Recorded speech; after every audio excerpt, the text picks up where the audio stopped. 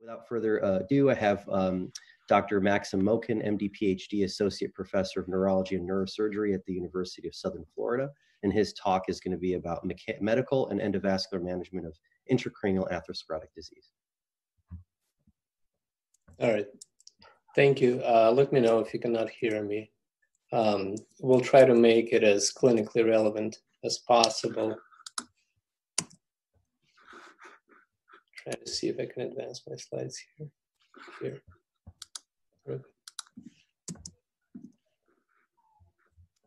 No relevant disclosures. So I'll start with a clinical case, um, a real world clinical case that highlights that we don't really have guidelines on the management of ICAD that uh, fit all.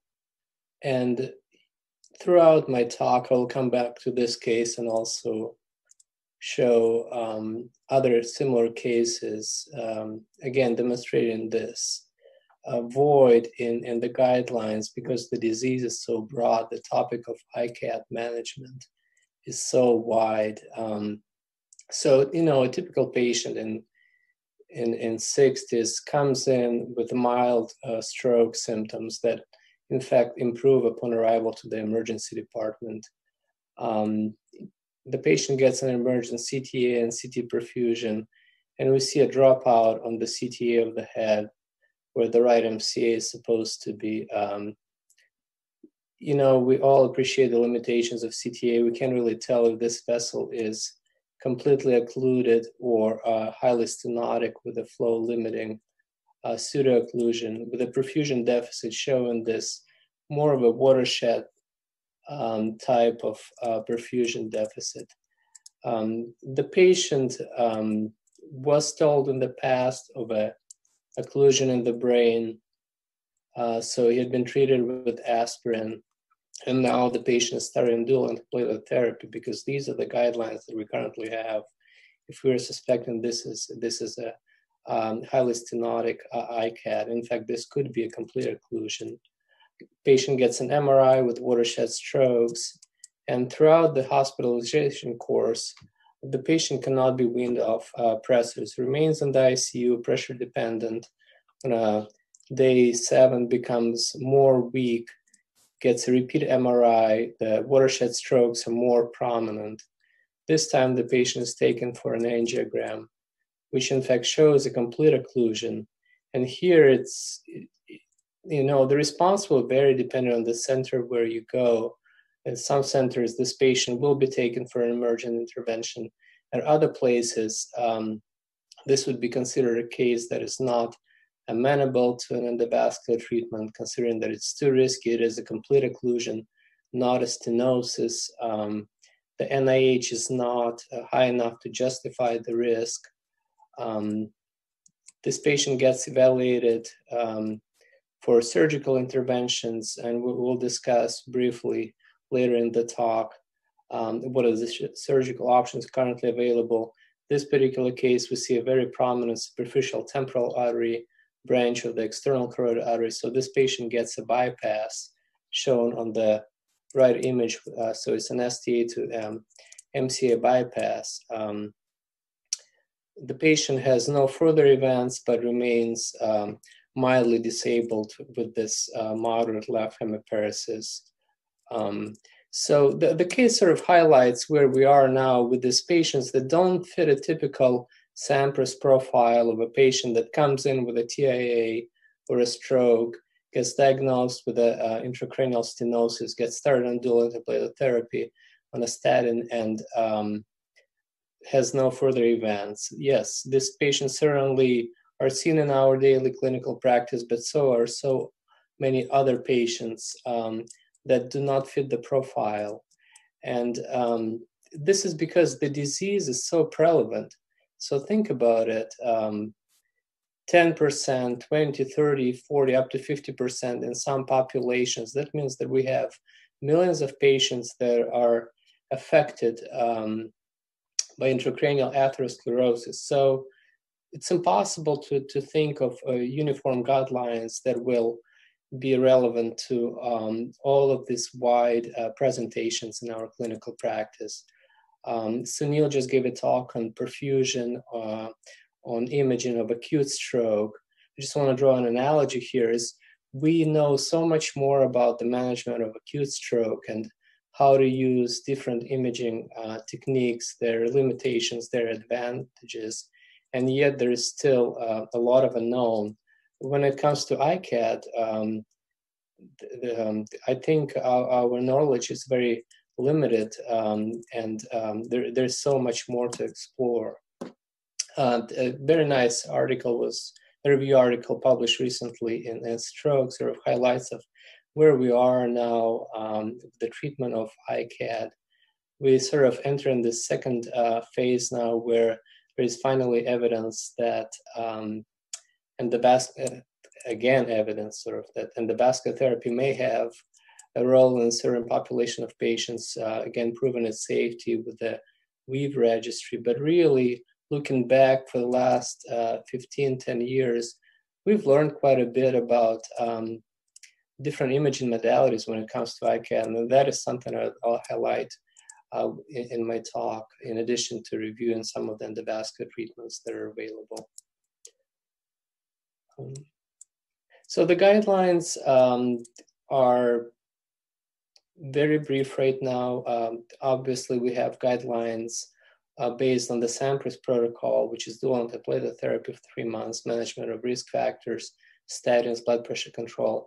And beyond that, especially in the acute phase, we really don't know much um, as far as specific management of patients with um, ICAD that come to the emergency department um, and being treated acutely. Um, modifiable risk factors are the ones that uh, we try to treat. Um, most of them um, take, take a lot long factors to, to get stabilized whether it's treatment of um, diabetes, smoking, hyperlipidemia, or, or hypertension. Um, and here I'll just briefly mention that when it comes to intracranial vessels, we tend to think that atherosclerosis is generally considered a disease of the intima, but remember that the media and the tissue are also involved, and also there, there is certainly uh, an anatomical difference when it comes to intracranial vessels versus extracranial or uh, coronary arteries, which should be considered uh, when we draw analogies with studies um, of uh, carotid or uh, coronary vessels. Um, I will not talk much about the SAMMPRIS trial. Um, it, has been done before in so many talks. Uh, want to briefly mention that the other trial um, they're using a different stent system. Um, VISSIT trial also showed um, a significant um, benefit of medical therapy over the endovascular therapy. In that trial, I'll get the numbers um, in a second. Uh, the risk of stroke uh, in the medical arm was uh, 9% and 24 arms in the endovascular um, arm at, at, 30 days. And uh, when it comes to SAMMPRIS, um, we should remember that uh, the beneficial um, effect of uh, medical over endovascular therapy persisted um, up to three years.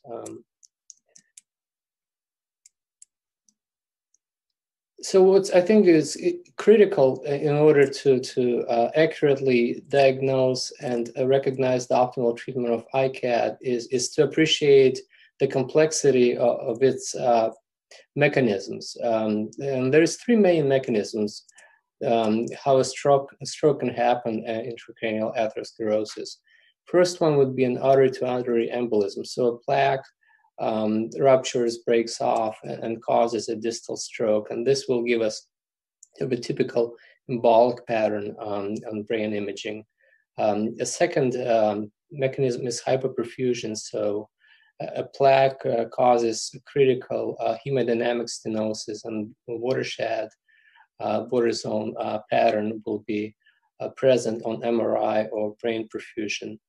Um, a third mechanism is uh, branch atheromatous disease. So this will be sort of small patchy strokes in a perforated rich territory such as the mid-basilar artery or the lenticulostriates, so the MCA. And um, of course, we can also have a mixed pattern seen at the same time, and this what makes the diagnosis sort of challenging and sometimes more complex.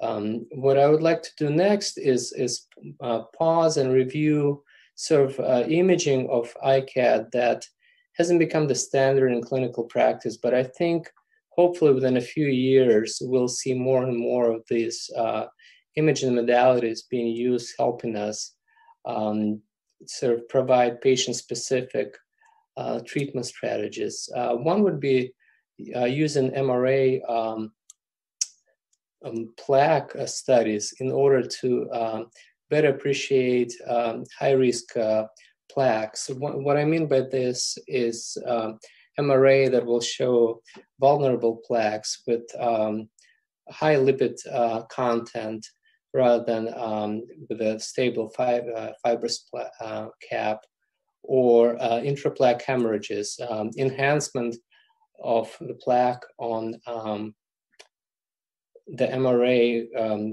and surrounding intima, which will um, indicate that these patients have uh, local inflammation or neovasculature formation.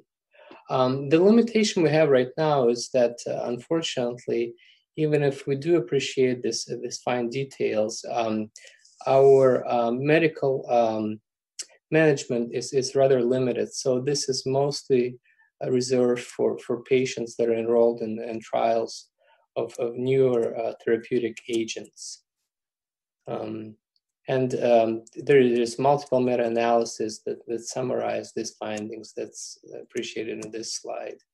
So we have sort of several case reports uh, showing how this advanced uh, plaque imaging may um, help um, in individual patient cases. There was a case presented a couple of years ago where a patient was having recurrent uh, posterior fossa strokes with um, first MRA and MRI done in images A and B, then a second event uh, with an um, MRA and MRI done in images C and D showing new strokes, progression of plaque, and also uh, showing this um, um high, high um, risk plaque in the left vertebral artery at its V4 segment.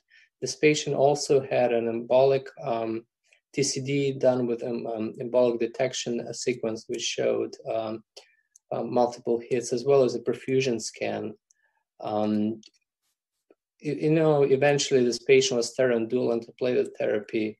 Some may argue that this uh, could have been done even without any of this imaging. Um, I do want to mention, um, using this opportunity, that there is a lot of uh, limitations in the technology that we have currently available, such as the use of perfusion imaging when it comes to um, evaluating the posterior fossa.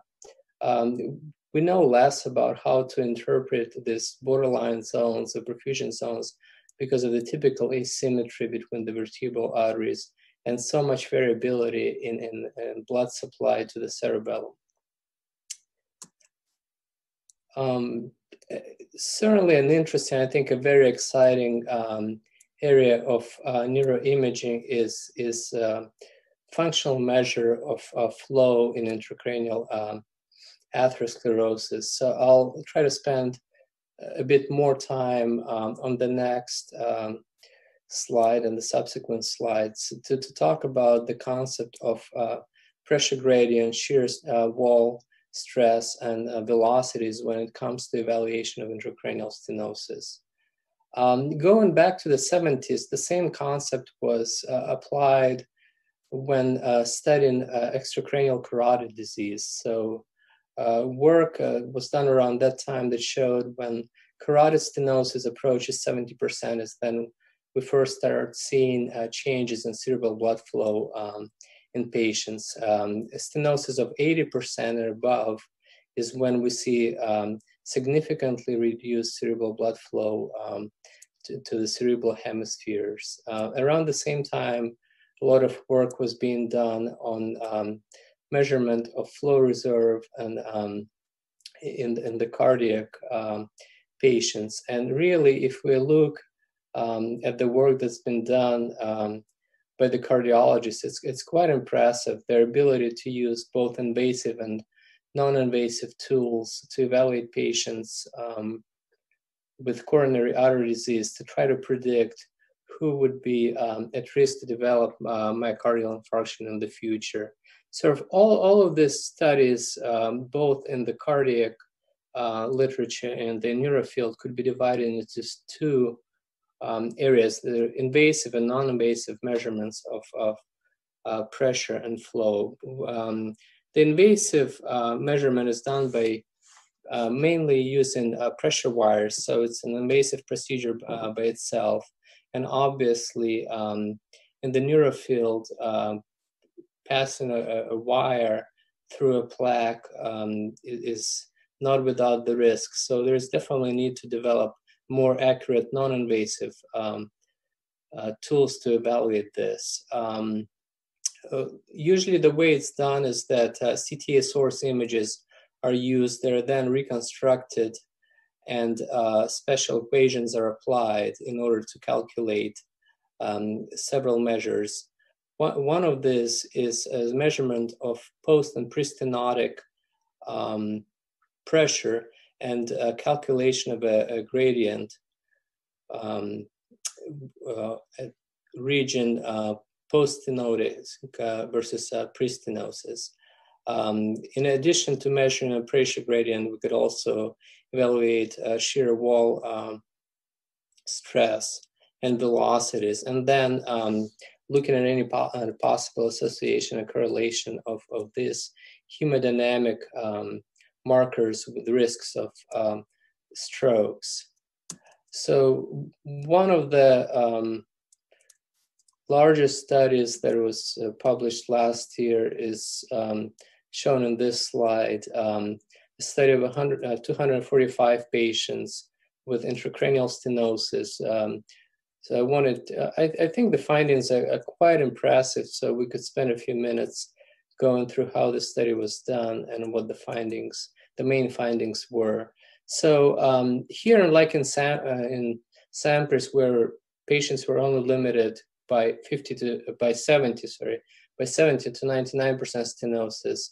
Patients with sort of moderate 50 to, to 69% stenosis were also included. Um, and the primary outcome of this study was looking at sort of predictors uh, of uh, ischemic stroke in the same territory within one year. Um, what's not shown in this slide, but um, I remember going through this paper, it's quite interesting to acknowledge the limitations of this technology. Um, approximately 20% of patients from this study were excluded because their um, baseline CTAs were non diagnostic. Either there were heavy calcifications present or um, the degree of stenosis was so severe that um, suboptimal opacification with contrast was present. Therefore, the studies could not be used um, the, those imaging studies could not be used for um, proper analysis.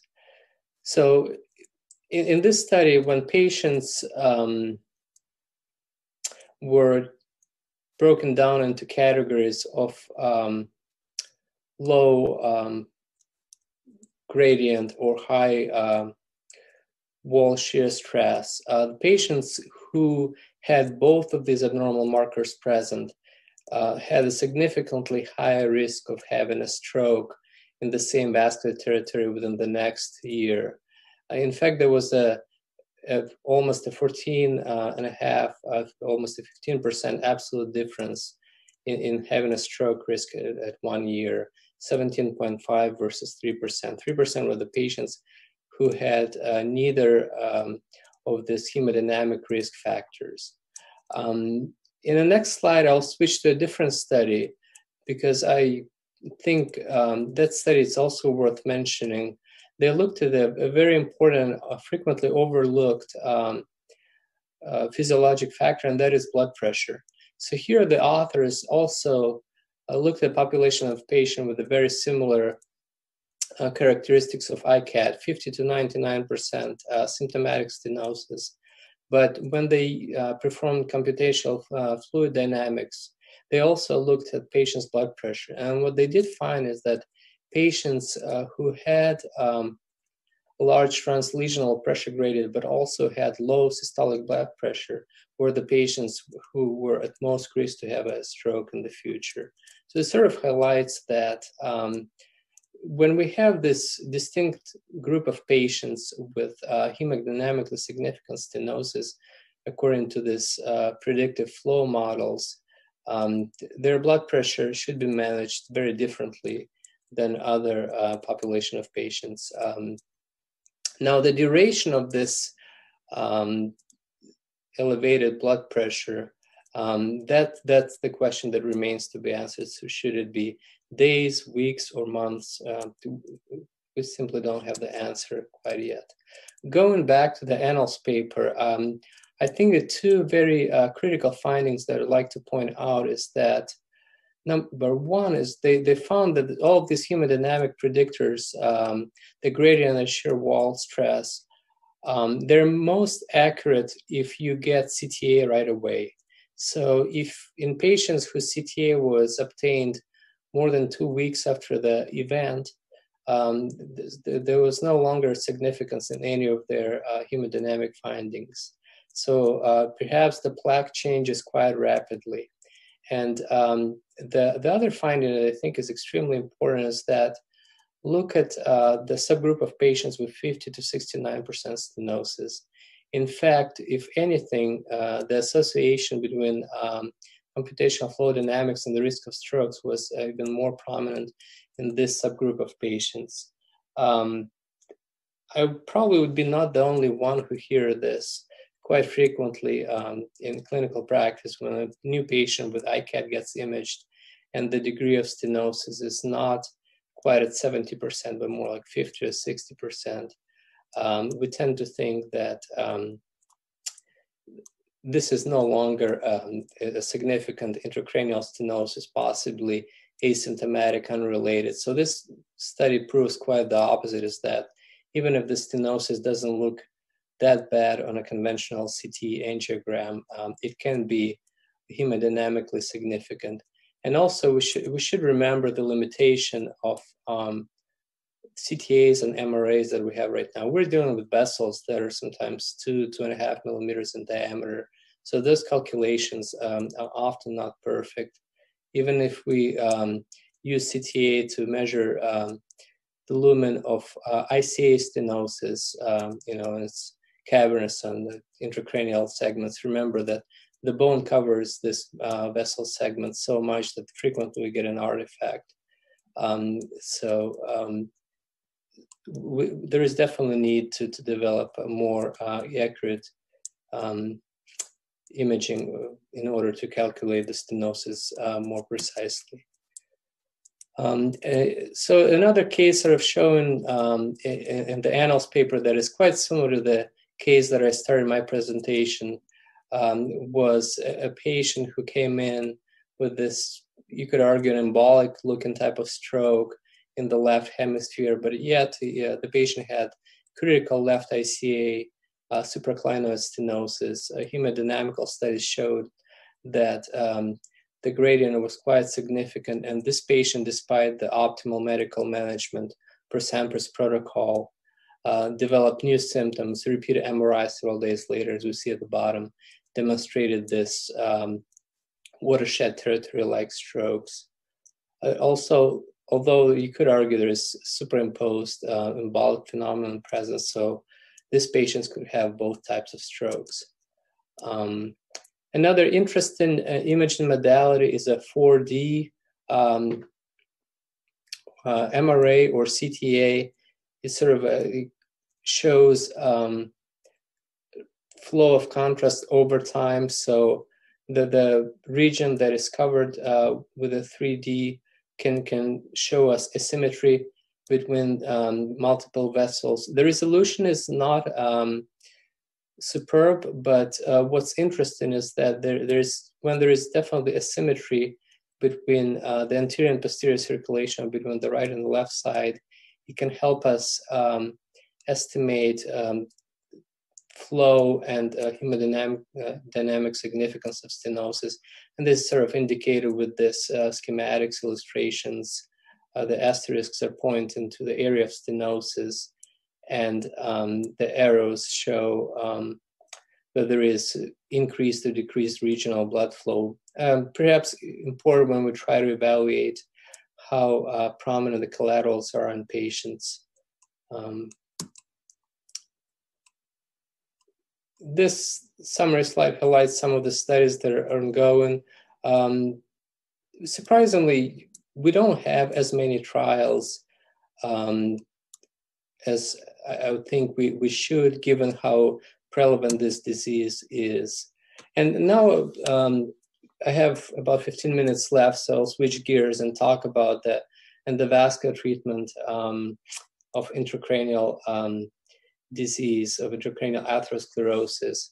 The, the, I, the, there's so much variation, so the, the techniques that I mentioned are certainly not uh, necessarily what you will see um, at every center that practices it. There's a lot of um, variations in uh, choice of devices, choice of techniques such as angioplasty or stenting, but balloon angioplasty alone, uh, which was first done for the treatment of intracranial disease, I think about 20 years or so, uh, 25 years, um, is certainly coming back. And this is due to the realization that you don't necessarily need to make the vessel look uh, perfect again, just slight improvement in the degree of um, stenosis will uh, result in uh, significant augmentation in flow. So this technique is especially uh, relevant when uh, there are patients who have hemodynamically significant stenosis and um, the goal is just to, to partially restore flow here. Um, the technique of balloon angioplasty, um, often referred to as submaximal angioplasty, means that the size of the balloon, um, the balloon is sized um, according to the size of the vessel um, and selected um, at approximately 50 to 75 percent um, of what the normal parent vessel is. the inflation has to be done very slowly and very gentle because these vessels are quite fragile. And uh, if a rapid inflation um, of a balloon is performed, it can result in, in vessel rupture. And also, this slow inflation and deflation will help minimize uh, plaque breakdown. So remember this when you perform an angioplasty or stenting, this plaque has to go somewhere. So either it's going to, to travel distally and cause embolic uh, strokes, or it will remain within the vessel wall, but it will just, the vessel itself will change its configuration. Um,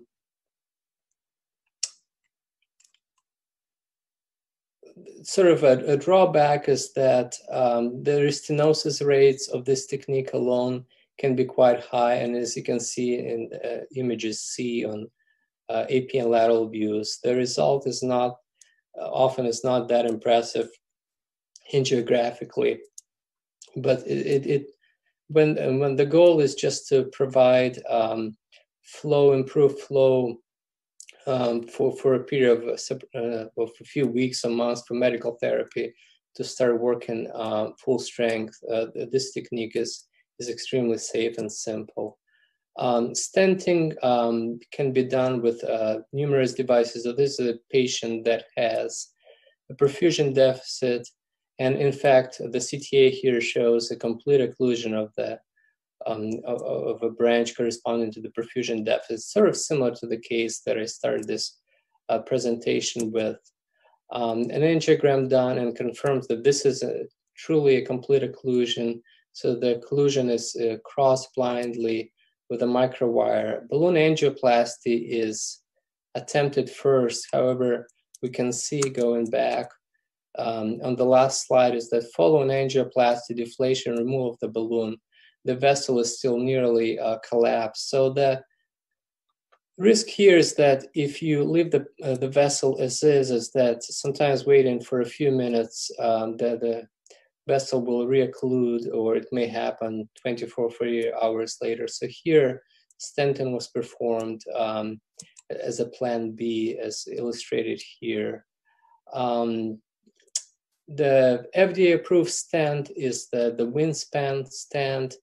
With the FDA being quite um, rigid on the criteria used for, for stenting these days. So it, this has to be a patient, if I remember correctly, um, ages 18 to 82, patient who has had two strokes despite best maximal therapy, the patient who has been able to um, recover functionally to an MRS of at least three, and um, the time of stenting should be at least uh, a week away from the last stroke. So very few patients meet this criteria. Um, I'm mostly in my practice, uh, I tend to use uh, coronary stents for multiple reasons. Number one is I really like the, the, the balloon mounted stent um, construct. So it, it, without the need for exchanges, angioplasty, um, able to often precisely place the, the stent uh, without much difficulty. Uh, excellent um, radial force profile in comparison to uh, the wingspan stent. Um, they come in uh, drug eluting and bare metal uh, forms. So the drug eluting ones will dictate use of dual antiplatelet therapy up to 12 months. So that's why sometimes you see patients with intracranial stenosis that are treated with stents and require this very long uh, dual antiplatelet management. The drawback of, of these stents that were originally not designed to be used um, in the neurovasculatures, they, m- most of them are PMA. Um, however, they're extremely rigid, so use of an intermediate catheter is shown here um, can be quite helpful in order to navigate the stiff stents um, that distally. Um, in this case, after stenting was done um, for educational purposes, repeat imaging was performed, which now shows patent M2 branch and uh, near complete resolution of the, the perfusion deficit that was seen previously. Um, in some patients, uh, we can go primarily to stenting, so patients with a high plaque burden, um, especially patients where we see that uh, the lesion can be crossed without angioplasty.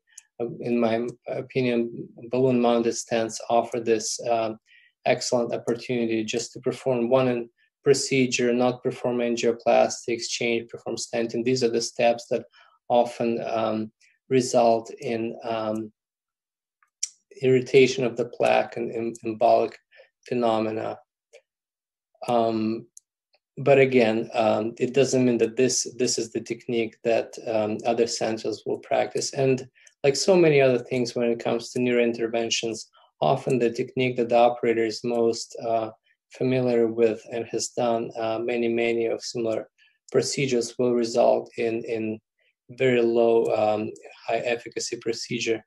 Um, so I'll come back to that in a second. So this is an example of a balloon mounted stent that is being delivered and um, once the balloon is inflated, uh, the, the, stent with a high radial force is able to maintain the, the vessel diameter perfectly. Um, back to the WEAVE trial, um, or the registry to be exact. So when the FDA in 2012, if I remember correctly, changed the, the indications for the wingspan stent system, subsequently uh, a post-marketing uh, um, registry um, was mandated. So this registry involved um, 152 consecutive patients. Patients had to meet the FDA on-label use for angioplasty and stenting. So uh, very similar to SAMMPRIS as far as the degree of stenosis, um, time timing of uh, having a stroke, and performing an intervention. Um, the results were published last year and very low uh, procedural adverse event uh, rate of 2.6%, um, uh, four out of 152 patients um, had um, rate, uh, that was the rate of the primary event. So it certainly shows that with the technique, um, even using the, the wingspan stent, that is stent that hasn't really had any major modifications designed for a long time now.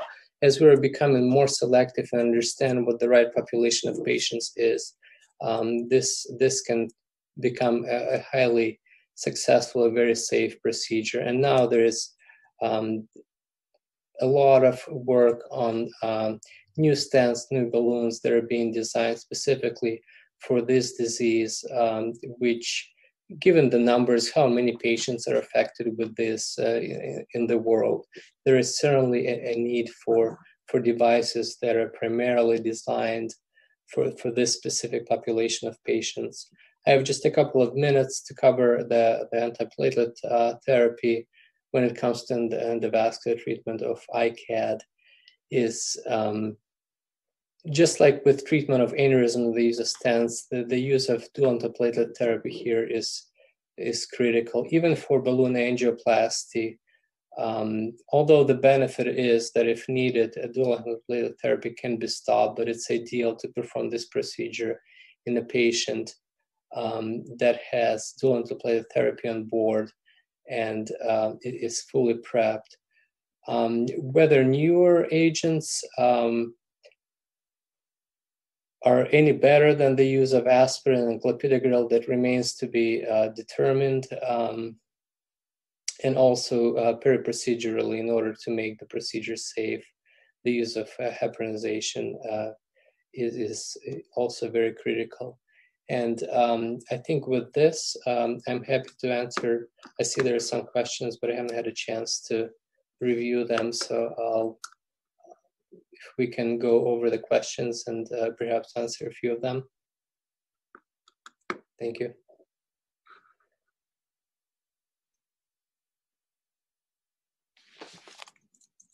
Okay, can everybody hear me now? Unmuted. Okay, great talk. Thanks, Max. Um, I, you know, a, a, housekeeping thing right off the bat. Uh, there was a couple of questions about whether these are being recorded. Uh, the talks are being recorded, and registered attendees will have them available uh, with a link in email in a few weeks. So um, there were a couple of questions, uh, you know, predictably about patient selection um, using your first case as an example, and maybe we can kind of uh, you know break it down into little pieces. One of the first uh, questions was about the imaging modality that you would use for patient selection. So CTP, CTA aspects, uh, MRI NOVA, and BOLD as modalities for qualitative assessment of CBF. What are your thoughts on that? Yeah, I think these are um, uh, very centered, individual center dependent. For example, we do not use MRA NOVA. Um, I know that some centers do. Um, we will certainly uh, um, rely um, heavily on the use of CT perfusion if we're trying to understand if the stenosis is uh, hemodynamically significant or not.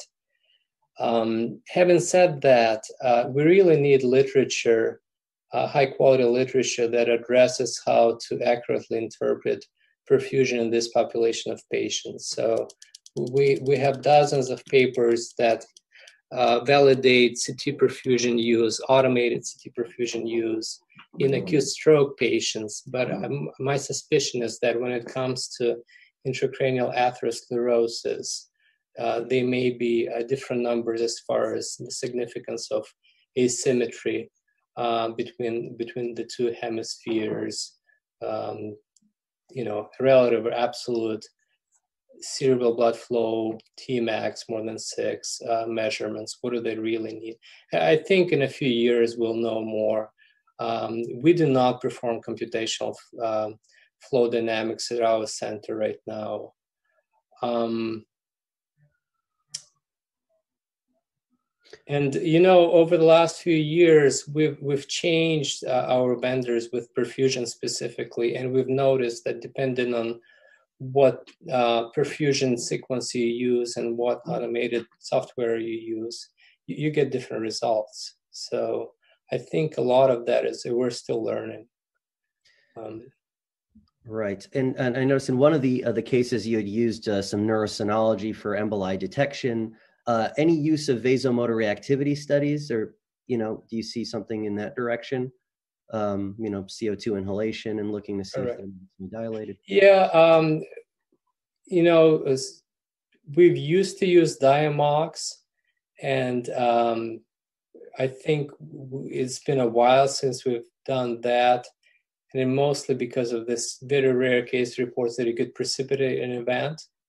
But by doing that, um, now I started with a case that ended up having a surgical intervention. That would be an, rather an exception um, in our um, institution. Um, however, I wouldn't say that we're extremely aggressive in the endovascular treatment of ICAD. Uh, so we will definitely, the severity of stroke symptoms and clinical presentation is probably what will guide us the most. Um, patients that were not able to wean off the pressors that have this fluctuating degree of symptoms are the ones that tend to demonstrate better than any perfusion scan that they they are uh, hemodynamically compromised. And most often th- these tend to uh, develop uh, worse strokes. So, so you, you sort of answered uh, one of the questions already about uh, the the threshold that would be crossed for the bypass procedure. So, um, we have some questions about uh, the trials. Before we get to that, I kind of want to talk about the um, the antiplatelet questions. So, um, a couple of things about your uh, duration if you're doing, uh, you know, submaximal angioplasty, for instance. Um, well, we'll still follow the SAMMPRIS protocol. So even if a submaximal angioplasty is performed, the patient will be maintained uh, on it for three months. With submaximal angioplasty, uh, we often will repeat non-invasive imaging um, in a week or two. Again, it depends on the degree of stenosis and sort of the immediate angiographic result that is achieved. Um, one thing that I would like to mention, and I don't know the answer to this, but I think what's what's quite important is how we start dual antiplatelet therapy. So if we look at the the maximal effect of aspirin and Plavix, especially with clopidogrel, it takes days for the Plavix to to you know become fully um, therapeutic. So um, I, I, personally tend to load these patients with aspirin Plavix um, on day one or in the emergency department because we see that often in in cases of severe plaque burden.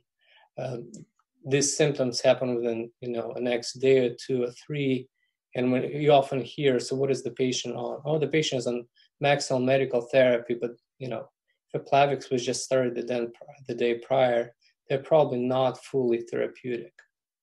Um, so speaking to that point about you know levels of platelet inhibition, because obviously that's being tested before you stent someone, but then it makes you wonder, well, if the person is a non-responder, are they really optimally medically managed from an antiplatelet standpoint? Correct. I think that is an excellent point you're bringing up we don't test dual antiplatelet therapy on every patient that is on maximal medical therapy. But if someone, even if it's not a candidate for stenting or angioplasty, but if someone um, is on uh, dual antiplatelet therapy but has an event, we'll routinely check an aspirin and Plavix response to see um, if there needs to be an adjustment. Mainly, it comes to clopidogrel, right? Whether it needs to be an adjustment of the dose or potentially switching to, to a different agent. You know, and I don't think we have strong evidence on how to manage these patients, but if, if, if there is a patient in whom you just see that the Plavix number uh, is so high that you likely suspect that even the you know doubling the dose of the Plavix is not going to help. Um, it might not be unreasonable to switch to an alternative agent. Excellent. So there's um so I, I, think we can move on to the other phase of of the questions here, which have to do with your practice uh, from an endovascular approach. What is the first line approach, and uh, any sort of uh, experiences with um, the drug eluting stents or balloon mounted stents?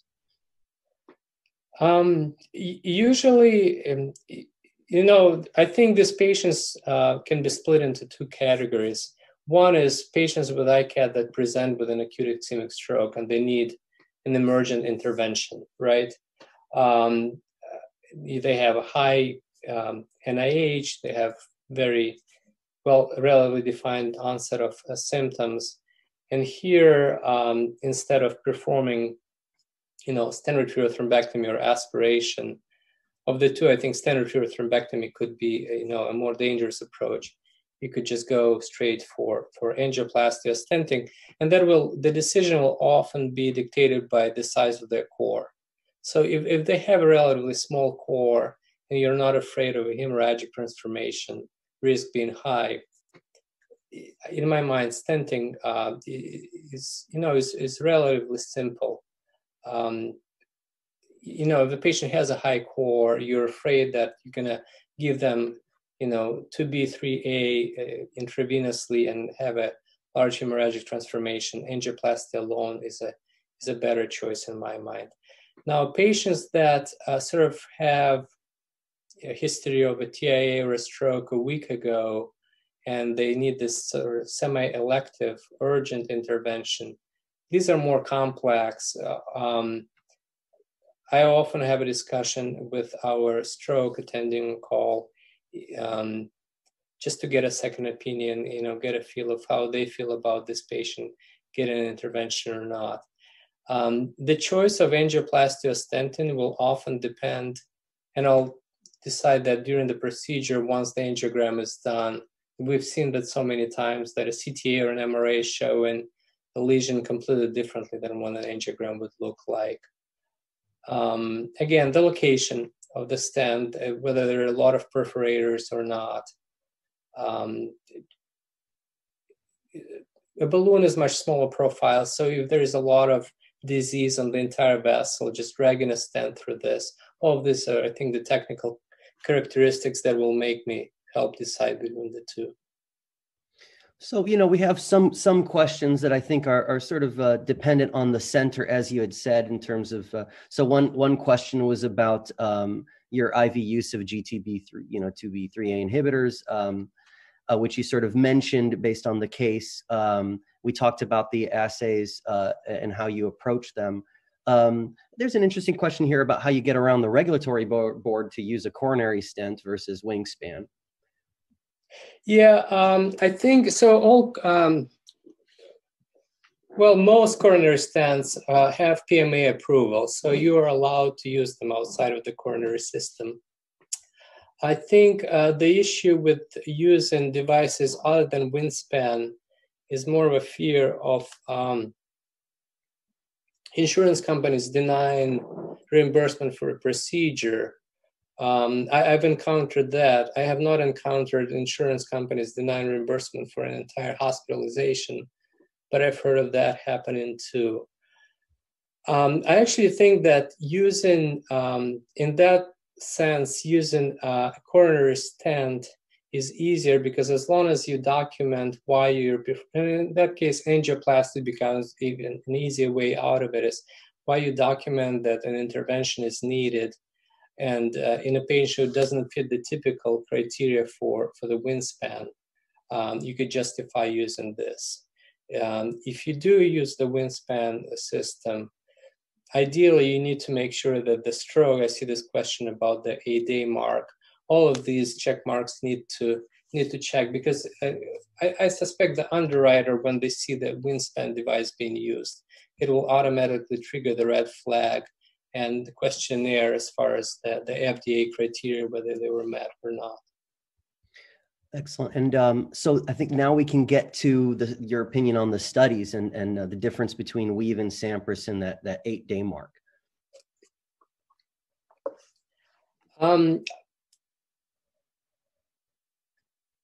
I'm not sure if I have a perfect understanding of what the uh, there's so many factors that might have contributed to why the results were so different. Um, but certainly by the time the WEAVE registry was started, we knew a lot more about how to perform this procedure safely. Um, whether it's stenting or balloon angioplasty, unless it's an emergent stroke, I think the last thing we, we want to do is do an intervention on a very fresh plaque. So I'm not sure if it has to be at eight days, but at least in the first two or three days, unless the patient is hemodynamically showing new stroke symptoms, it's it's better not to not to mess with this lesion. Um, I'm certainly not going to comment on the operator's expertise because the centers that participated in SAMMPRIS were excellent centers with operators having uh, years of experience uh, in more complex procedures. Um, so I think timing is critical.